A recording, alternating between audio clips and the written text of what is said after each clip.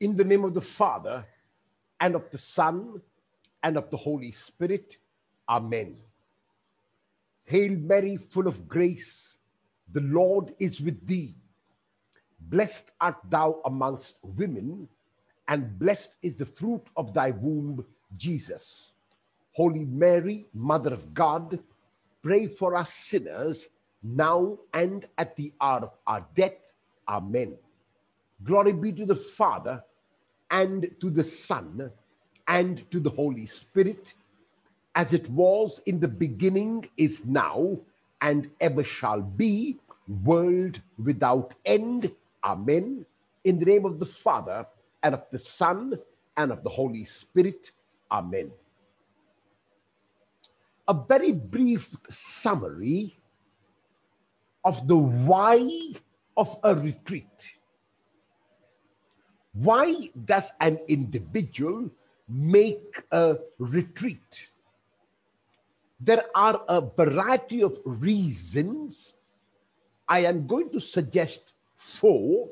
You might have another reason altogether. One reason why we might make this retreat is because we want to withdraw. We need both a spiritual rest and we also need a physical rest.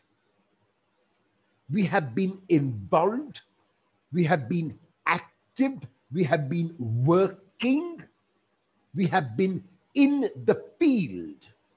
Now, we want to go back, we want to retreat, and we want to look at things from a distance. Another reason is in imitation of God, in Genesis chapter 2, verses 2 to 3, where after God's work of creation, God rested because God wanted to go back in. God wanted to retreat. God wanted to look at things from a distance. So we also because we are made in the image and likeness of God, we also, like God, retreat because we are more than our work. We are more than our activity. We are more than what we do. This is the prime reason why the author of Genesis would have God retreat and also is the reason because we are more than the external, we retreat. A retreat might also be made, like in the case of Jesus, before important decisions. At his baptism, Mark chapter 1, verses 9 to 11, Matthew chapter 3, verses 13 to 17, Luke chapter 3, verses 21 and 22, Jesus receives an invitation. And that invitation through the voice from heaven is to be both beloved son and to be slave. And Jesus has to decide. It is an important decision. And so Jesus goes into the desert. Jesus retreats. Jesus withdraws in order to make a discernment, in order to make a decision. Is it his closeness with God which will determine his decisions? Or is it his closeness to the world which will determine his decisions? The two kingdoms are placed before him the kingdom of God, which he is invited to proclaim, and the kingdom of the world, which also lures and invites. So before important decisions can be made, we also, like Jesus, retreat. And the reason why I would like to believe, no matter what the other reasons are, a person must make a retreat or a person does make a retreat is to meet the person of Christ. We are privileged because the religion that we follow is the following of a person God made visible.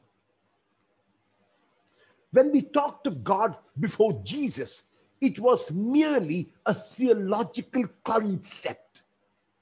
When we look at the image of God in the Old Testament, by and large, it is a God who is I am.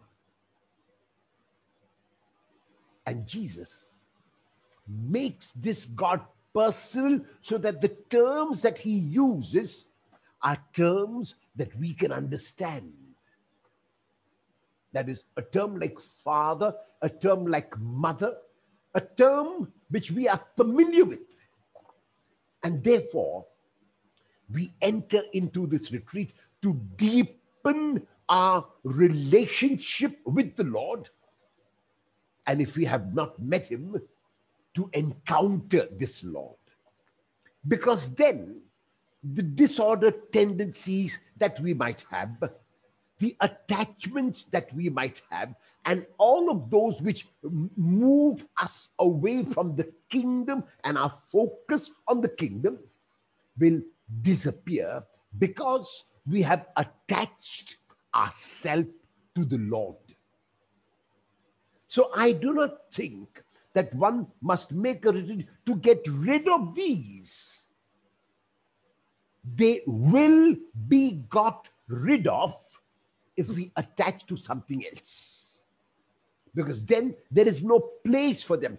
Because now we are possibly not attached to the Lord, there is a lot of place for the disordered tendencies, for the inordinate attachments and they take away our time, they take away our energy. Being attached to the Lord, and like Him saying, My food and my drink is to do the will of God, then the disordered tendencies drop automatically.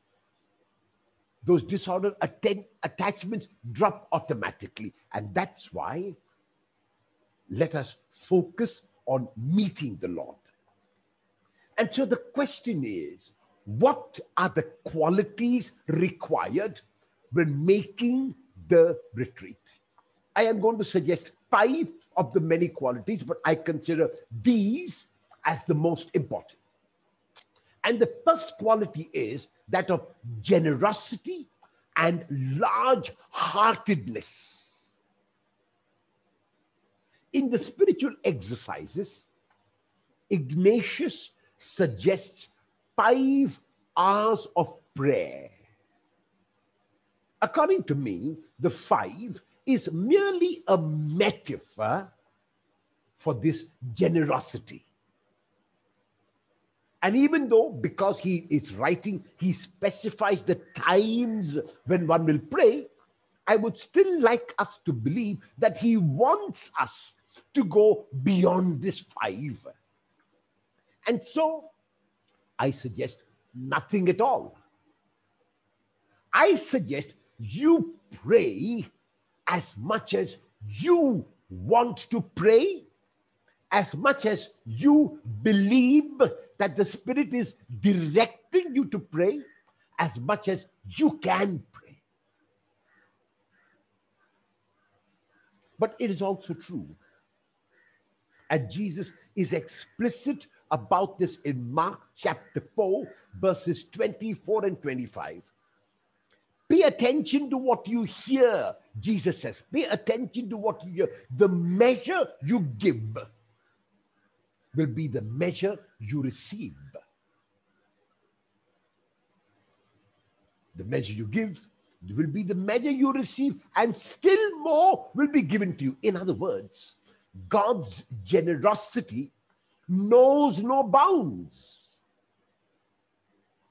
If there is one of the wonderful qualities about God, besides many, many others, it is God's generosity. God keeps giving and giving and pouring and pouring and never stopping. However, the receptacle that I have will determine how much I receive. So, it is not that God is not generous with me. It is that the receptacle of my heart is so small, is so puny that God can only pour in that much because only that much can be contained. And that's why when I talk about generosity, I include large heartedness. It's not merely generosity, but also large heartedness. And I like to believe that the prayer of Ignatius, which we said last night, and I would like to repeat today, and I think you can repeat asking God for this grace Lord, teach me to be generous.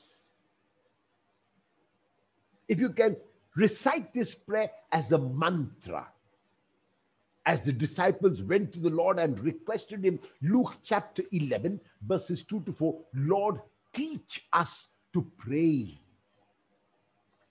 So we petition the Lord even to be generous. Lord, teach me to be generous. So, what is this heart that I am going to take to the Lord? Am I going to take a large heart, as large as is possible for me? Or am I going to scrounge? Am I going to be miserly with the Lord?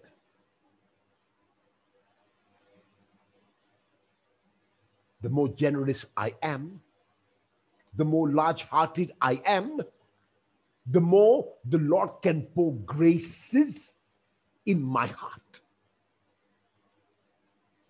The second quality is openness. And if there is an epitome of openness, if there is an exemplary example of openness, it is our Blessed Mother.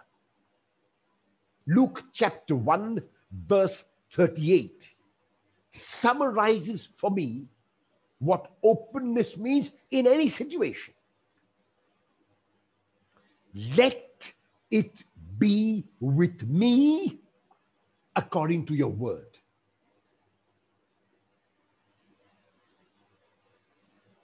This openness of Mary is so extraordinary that she wants the Lord to work in her.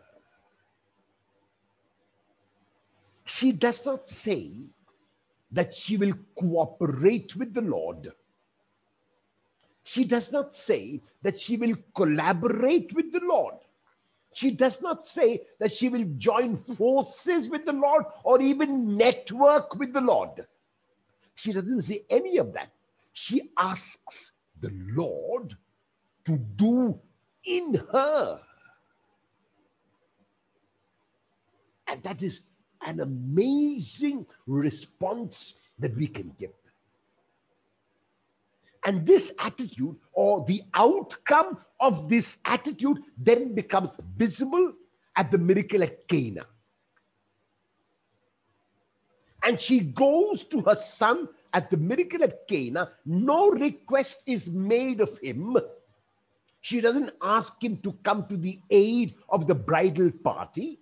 She simply points the situation out to her son. They have no wine. John chapter 2, verse 3. They have no wine. And Jesus is harsh. There is no doubt about the fact that Jesus is harsh. Gunai ti emoi kai soi. Woman, what to me and to you? Why do you disturb me? Why do you come to me?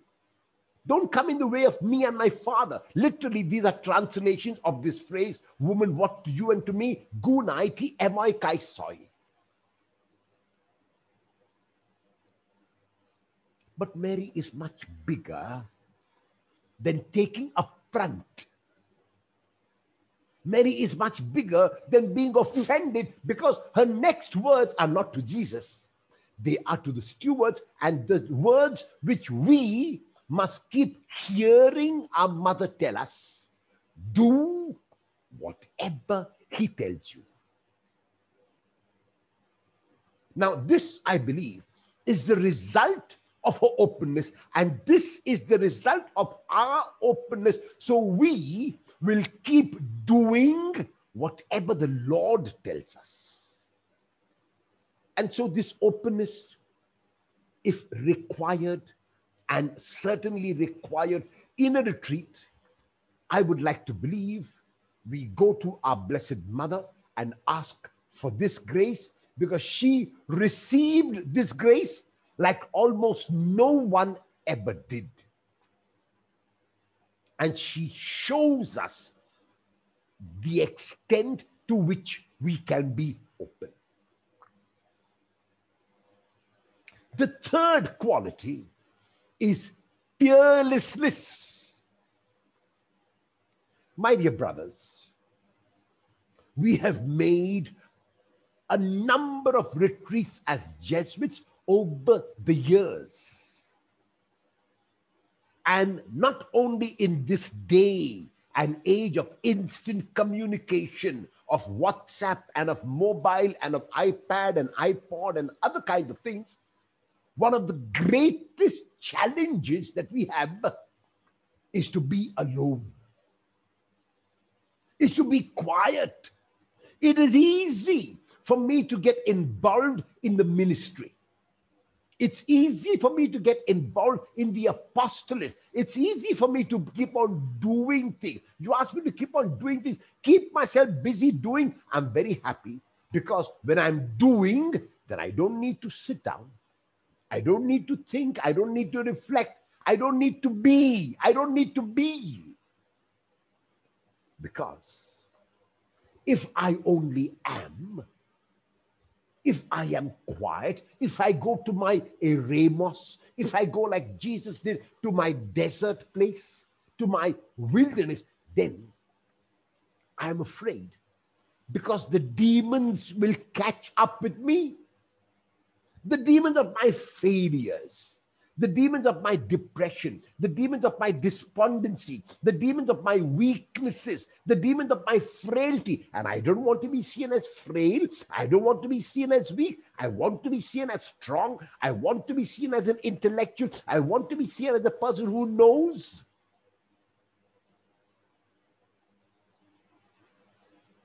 So to enter and to be quiet is not easy.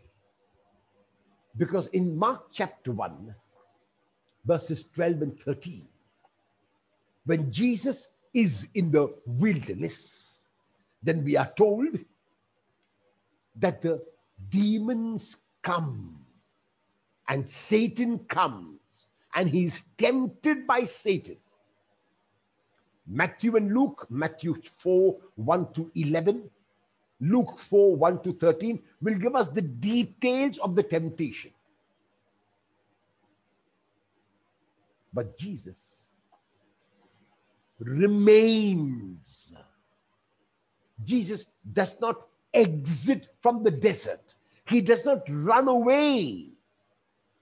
And you and I, my brothers, can run away. And remember, we can run away to a book we can run away to a video. We can run away to our phones. We can run away to our work. We can run away to many things because we do not want to remain alone. It's too frightening. It's too frightening to remain alone. Who's that ghost coming walking on the water? And Jesus is coming walking on the water, Mark chapter 6, verse 50. And he's saying to you, Tarsaite, meyun phobieste, ego emi. Tarsaite means courage. Take heart. Meyun phobieste, do not be afraid. I am. I am. And we are afraid because we are in this boat and the boat is rocking. And the Lord, if the Lord is present in our boat, appears to be asleep. And so we don't know what to do. And we want to get out of the boat. We want to jump into the sea. We want to swim to the safety of the shore because we are so frightened. Mark chapter 4, verses 40 to 41. Again, there the Lord says, after calming the wind and the storm with a word, he tells the disciples, he chides them almost. Why are you afraid? Often in the Gospels, the Lord Himself exhorts to fearlessness.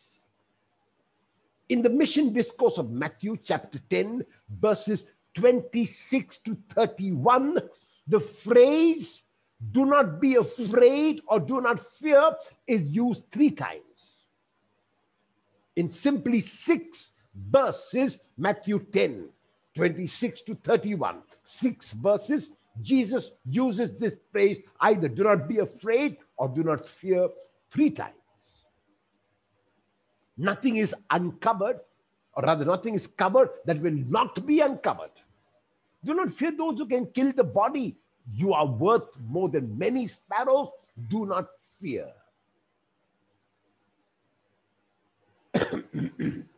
and so, while it is true that in our desert, in our lonely place, in our wilderness, in our retreat, the demons may catch up with us. It is also true that there will be angels of hope. And this is a promise made by the Lord. The fourth quality I would like you to take to your retreat is the quality of perseverance. In Marathi, there is a word which explains what perseverance is so beautifully. It is chikati, chikati. And chikati is stickability. The translation is stick. आणि मराठीमध्ये आपण म्हणतो एकदा धरलं म्हणजे सोडणार नाही एक बार मैंने पकड़ लिया मैं छोड़ूंगा नहीं so that is what Perseverance means Luke chapter 18, verses 1 to 8, gives us a beautiful, beautiful parable in perseverance. It is the parable of the widow and what is known as the unjust judge. And already, when we are introduced to this judge, Jesus tells us he feared no one he didn't have any regard for God or even for human beings. He did not fear about, did not fear anyone. And yet, this widow, who would have no male helper and so would be almost helpless, is a perseverer.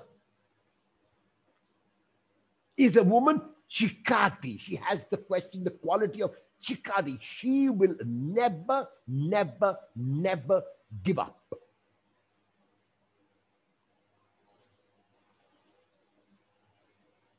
In Mark chapter 7, verses 24 to 30, in Matthew chapter 15, verses 21 to 28, is a similar example of perseverance, though the miracle is similar. They are narrated quite differently by the evangelists Mark and Matthew. In Mark, it is the Syrophoenician Gentile woman in Matthew. She is named as a Canaanite woman. In Mark, the insult of Jesus is not as harsh as it is in Matthew. In Mark, Jesus says, Let the children be fed first. It is not fair to take the children's bread and throw it to the dogs. Let the children be fed first is an indication the dogs can eat later. In Matthew, there is no allowing the children to be fed first. There is no scope for the dogs to eat at all. Simply, it is not fair to take the children's bread and throw it to the dogs. Now, notice a lesser person would have given up a lesser person would have taken offense. a lesser person would have been affronted and a lesser person would have said back to Jesus, if you do not want to help, do not help, but don't insult me. I'm a human being like you are. That's what a lesser person would have said. But this woman is extraordinary. This woman responds. This woman retorts. This woman is able to beat Jesus in the argument, so much so that Mark will say, For saying this, you may go. For saying this, that means you have beaten me in the argument. For saying this, you may go. Matthew, of course, will talk about faith. But the mark Markan Jesus is willing to admit that the woman has beaten him. The woman's perseverance has won the day, and so perseverance in Mark. In the Gospel of Luke again, when Jesus teaches his disciples how to pray, not only does he teach them how to pray, he also teach, teaches them about perseverance in prayer.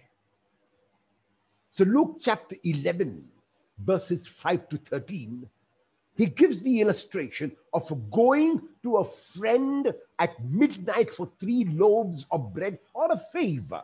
So, we are going to God.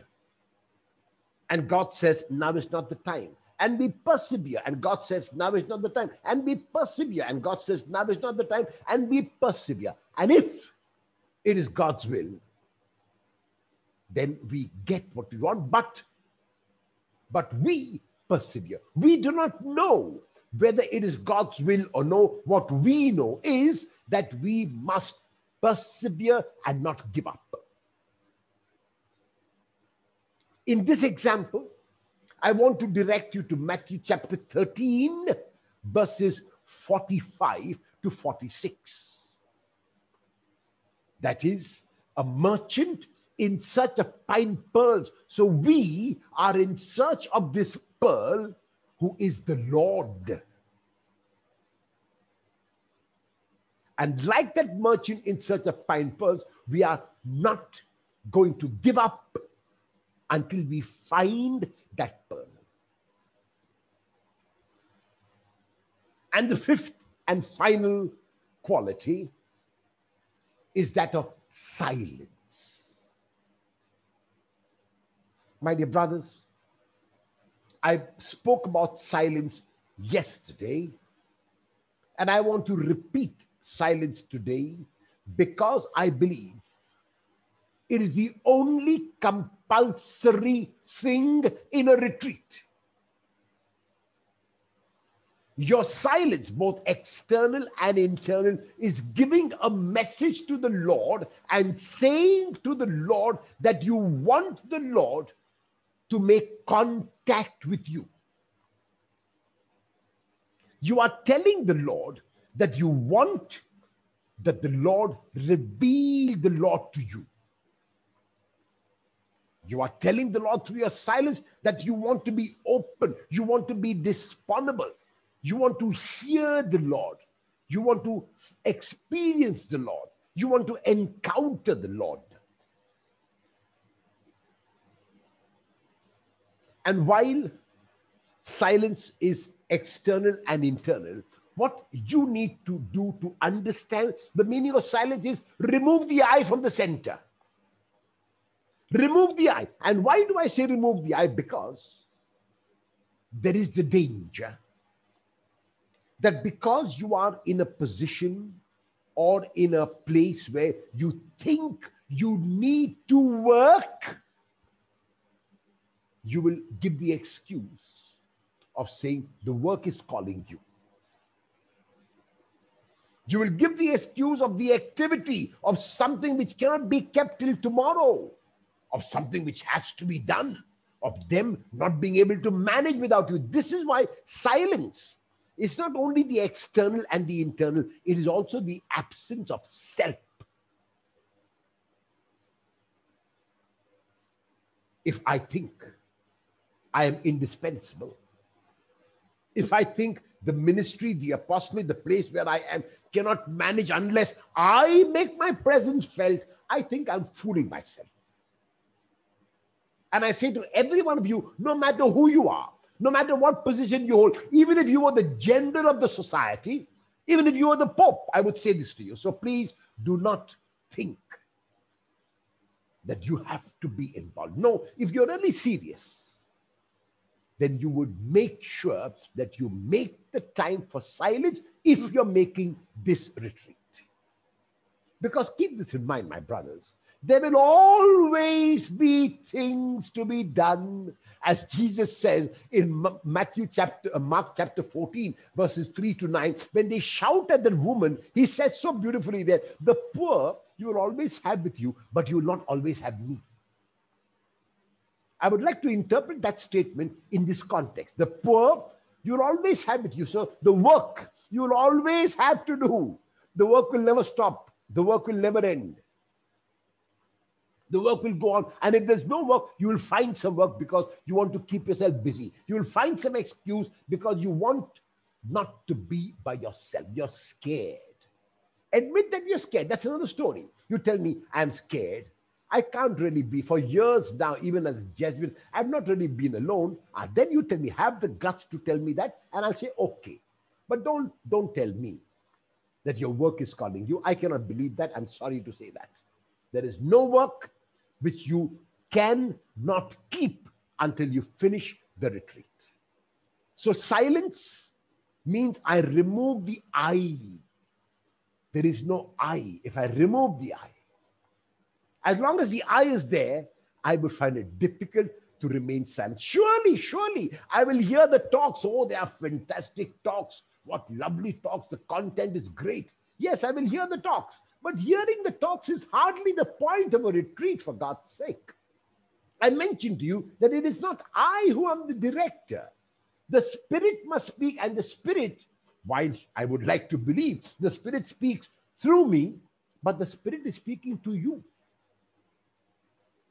And the Spirit cannot speak to you if your ears, your heart, your eyes, and everything else is closed And so, therefore, my brothers, this is why I insist on silence.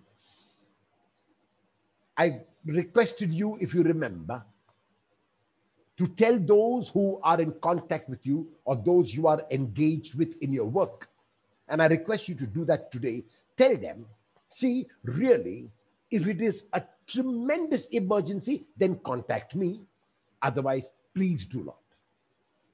Those of you who, for some reason, because you imagine, which I don't believe, but because you imagine that you're in such a great position that you cannot keep your phone off, you have to keep your phone on, it's okay. I leave it to you. I leave it to you. You are mature enough to know that. But I would say you're not fooling me, and I do not know who else you're fooling. You're only fooling yourself. Keep that point in mind. So now we come to the second part of this talk, namely, how do I encounter the Christ who lives today? And in order to aid your encounter with this Christ who lives today, I'm going to suggest four ways, if you like. And the first is you need to give all your time and your focus. In order to explain what your time and focus means, I point you out to Luke chapter 10, verses 38 to 42. Luke chapter 10, verses 38 to 42. It is the beautiful story of Martha and Mary. Now, my brothers, these are two characters which you can identify with.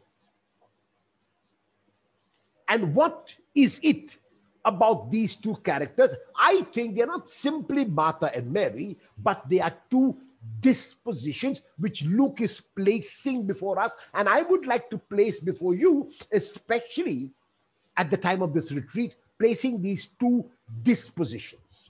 So, what are the dispositions? On the surface level, it might seem that the disposition of Martha is to be active active and engaged in activity, and that is correct, but only at the surface level. at the surface level, it might seem that the disposition of Mary is to be contemplative, is to be quiet, is to be silent, is to sit at the feet of the Lord. Yes, but only at the surface level. Then, how do we understand this text, Luke 10 38 to 42, on the deeper level? On the deeper level, we look at what happens because of Mary's disposition of being engaged in activity, in work, in action. What kind of action is Mary's? Mary's action is what I call distracted action. And why do I call it distracted action? Because Mary's action ought to have had its focus on the action. Mary's action ought to have had its focus on what she was doing. But where is Mary's focus? Mary's focus is on the Lord, and Mary's focus is on her sister. Sorry, I'm Martha's focus, I mean. Martha's focus. Martha, who's the actor, where did Martha's focus ought to have been? It ought to have been on her action. Martha's focus ought to have been on what she was doing. Martha's focus ought to have been on her work. But Martha's focus is on the Lord, and Martha's focus is on her sister Mary. Mary has not simply chosen contemplation, which she has done very beautifully, and even dared to do as a woman to sit at the feet of a master. But Mary has chosen focused contemplation. So it is not simply sitting at the feet of the Lord. Yes, I can sit at the feet of the Lord for about an hour, and then I get up and go and I get involved in my work. But Mary's is focused so that Mary is not even aware of this anger of this animosity of her sister. She's so concentrated, she's so focused. So, Martha's action is what I call distracted action. Mary's contemplation is what I call focused contemplation. So, it is not merely that Jesus is making a distinction between saying, Martha, you've chosen action that is not as good as contemplation. No, no. What is the better path that Mary has chosen? Mary, the better path that Mary has chosen is the focus. In other words, Martha, if you had focused on your work, even that would be the better part when work has to be the focus. So, in other words, the reason why I say time and focus, both, I include both, like I included generosity and large heartedness. Here I'm including time and focus. Time to give is one thing. I can be dancing in the in the corridors, I can be walking in the garden, I can be looking at the trees and plants, and time passes by. But there's no focus at all. And what I want to point out to you, my brothers, is this sometimes has been our situation like Martha. We are working we are engaged, we are active, we are in the ministry, we are in the apostolate. But what do we have to show for it? Nothing.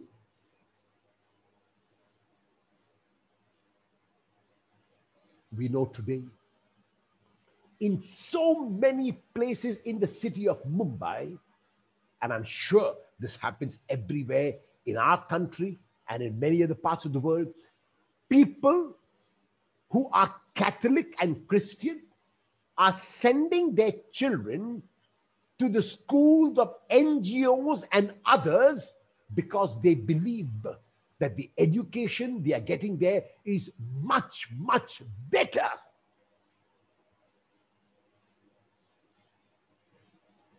They are sending their children there because even in our schools, they're not even getting the values. So we say, no, but what about the values? They're getting better values there. Let me be very honest. And you will not believe this, but the fees which are charged by these NGOs and others who are also now into education is about 20 times more than we charge. 20 times, and they're willing to pay. They are willing to pay because very clearly, somehow, we seem to have lost our focus. We are engaged in activity. We are engaged in education. We are teaching children. We are teaching in colleges. We have got other institutions, but this is past glory that we are living on. And now, with this new NEP, things are going to change drastically. They're going to change drastically. And unless we respond as Mary did with first focused contemplation, and then our action will be concentrated action, not distracted action, then there is hope. And I believe that there is hope. Because otherwise, we are simply going to maintain the status quo, and after some time, our institutions will crumble. There was a time when admission to St. Stanislaus, to St. Xavier's, I'm talking about our school, St. Mary's, before the forms for the junior KG or the KG were being given, there would be such lines that we had to inform the police in advance so that they could maintain the bandobast outside. They could maintain the law and order and there would be no fighting because we knew parents would come the previous evening to stand in line. The forms were being given the next morning at 10 o'clock, and by 6 in the evening of the previous day, they were there waiting just to take a form when everyone would be given a form. Today, there are some schools in which we have to invite people to come and take the form. So Jesus is not pointing us, I believe, to simply choose between contemplation and action. No. And he's not even saying that contemplation is better than action when he says that Mary has chosen the better part. What he's saying actually is that if we are contemplating, then our contemplation has to be focused. If we are acting, our acting has to be focused. But if I am acting and my mind is on contemplation, then like Martha, my mind is going to be on the Lord, and my mind is going to be on my sister, on others who are not doing as much as I am doing. And there are many of us who, because we are busy, busy, busy, think that we are doing more than others. That's not true. That is not true.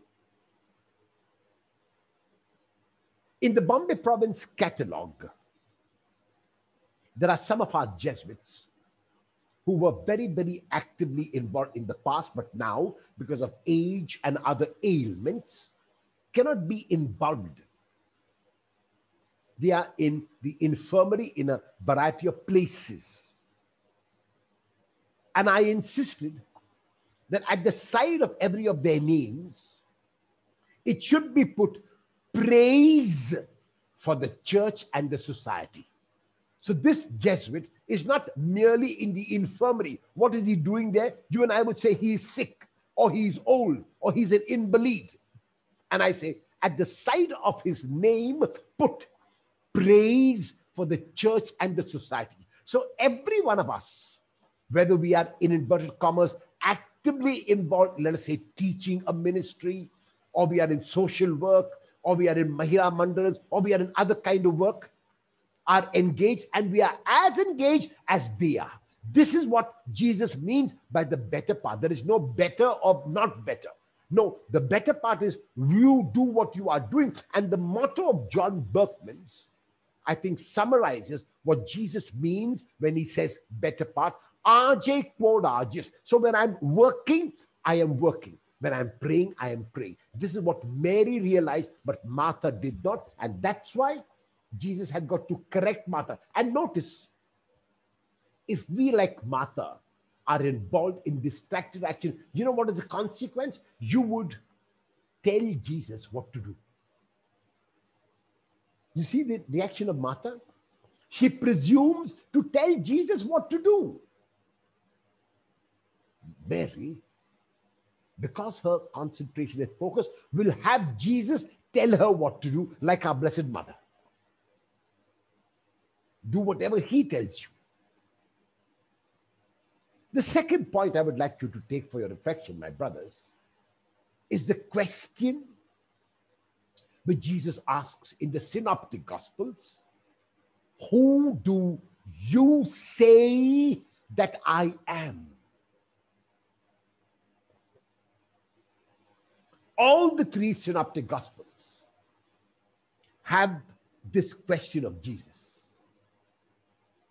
And th- this question is after Jesus asks a previous question, namely, who do people say that I am?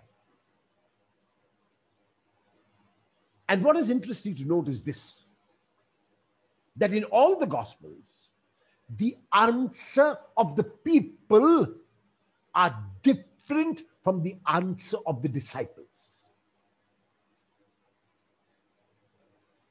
The people see Jesus as John the Baptist, Elijah, one of the prophets, or one of the old prophets, or one of the ancient prophets. In all the three synoptic gospels, Mark chapter 8, verse 29, Matthew chapter 16, verse 15, and Luke chapter 9, verse 20. In all the three synoptic gospels, Peter, as the spokesperson of the disciples, answers, even though Jesus does not only ask Peter, the you is plural. And this is how the question is asked, Humeis Dei. And it should be translated in this manner, but you, he said to them, who do you say I am? That's the literal translation. You, he said to them, who do you say I am? In other words, I'm asking you now, this group of 12, I'm asking you now, this company of Jesus, this company of Jesus, this society of Jesus, I'm asking you.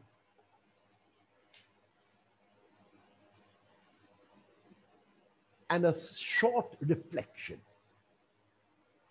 a very short reflection, will enable you to realize that you do not know. That you do not know.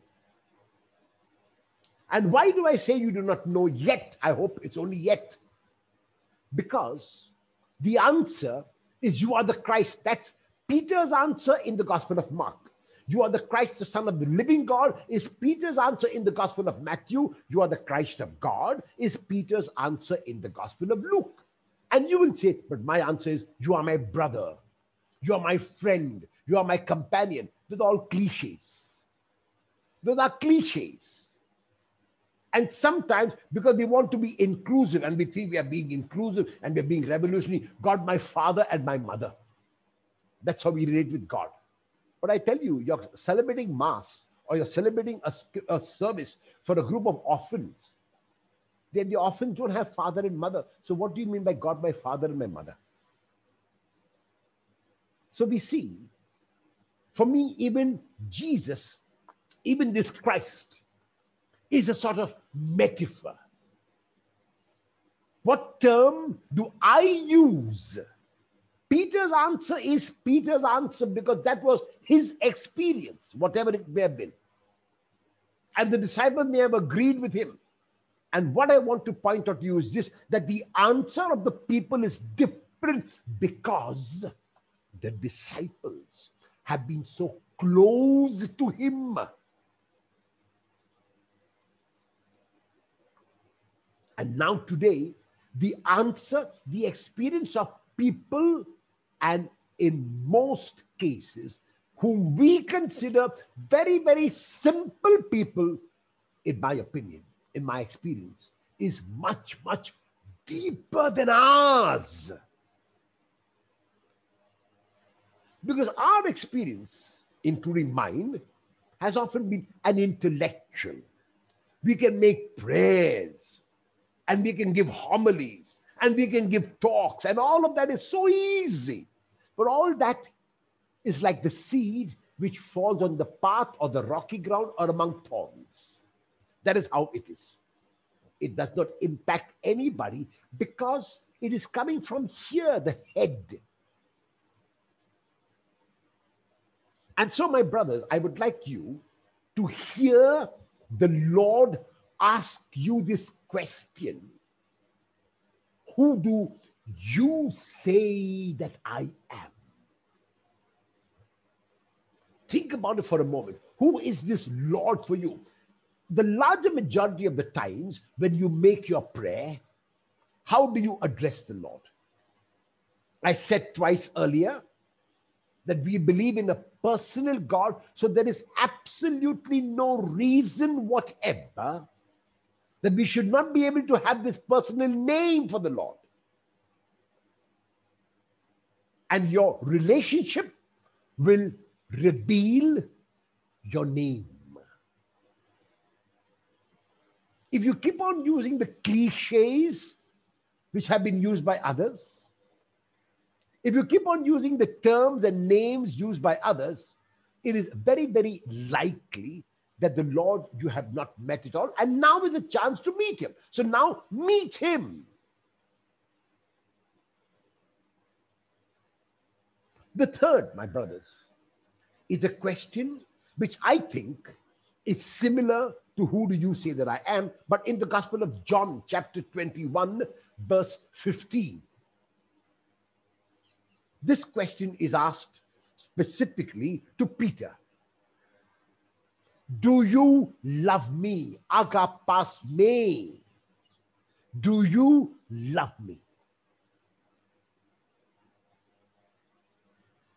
Then we reflect on these two questions, and both of which are answered by Peter, even though the first one is asked to all the disciples. What we realize is this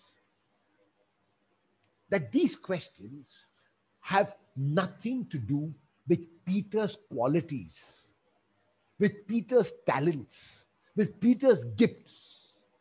They have to do with Peter's relationship with the Lord. They have to do with how Peter sees and encounters the Lord.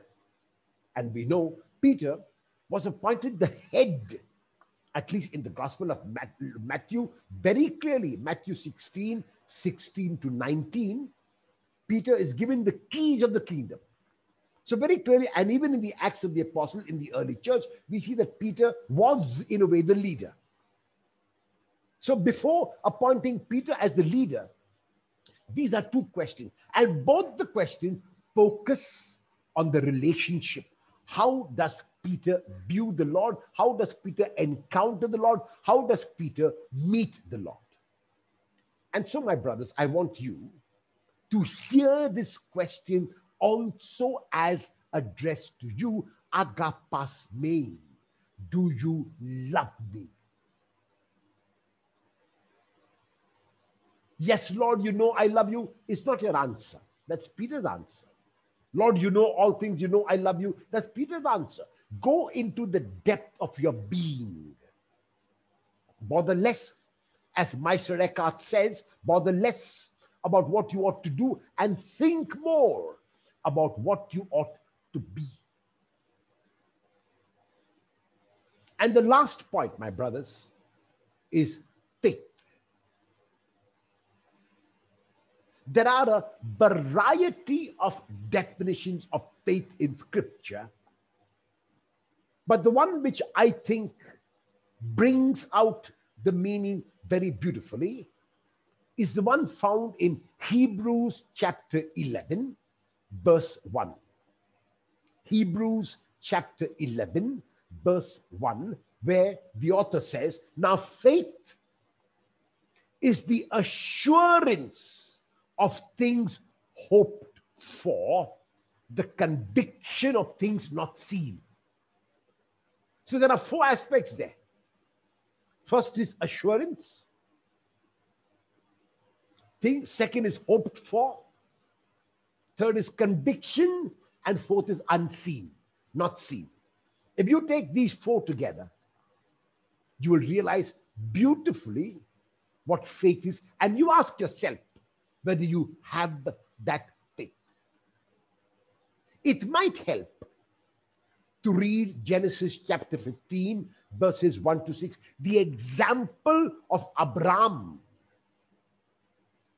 Abram, the name, is God is my father Abram. And this Abram and his wife Sarah, who were both childless, who had no progeny, who had no land, is promised by God the two things that he does not have and seems no hope of having. And we know what did Abraham do? Abraham believed God's promises, and because he believed God's promises, he became Abraham. That is a father of a multitude. So he received both progeny and he received land. Further than the eye could see, and progeny as numerous as the grains of sand in the seashore, as numerous as the stars in the sky. In Mark chapter 11, verses 22 to 25, on the lips of Jesus is the definition of both prayer and faith combined. Mark 11, 22 to 25. When Jesus says there, when you pray, believe that you have received already what you are praying for, and it will be yours. So to believe in advance. So I want to encounter the Lord. I believe in my heart that I am going to encounter him.